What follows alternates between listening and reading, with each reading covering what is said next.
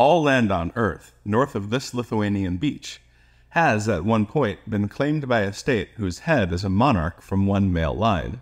Charles III's accession completes the House of Oldenburg's subarctic circle, with parts of Scotland and Canada adding to the house's current headship of the Danish realm and Norway.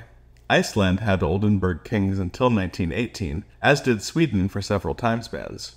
All the remaining land north of that latitude, including Finland and Alaska, was once Russian, which is why the southernmost once Oldenburg point is the Russian Empire's former border crossing in Lithuania to Nimmersatt, Prussia.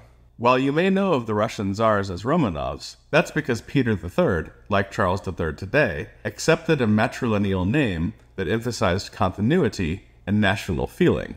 Add the lands south of 55.9, and the House of Oldenburg is among the dynasties with the most asynchronous claimed territory,